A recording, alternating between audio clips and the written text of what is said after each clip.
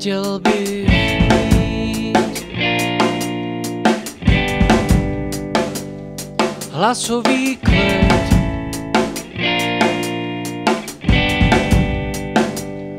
Nikomu nic neříkat,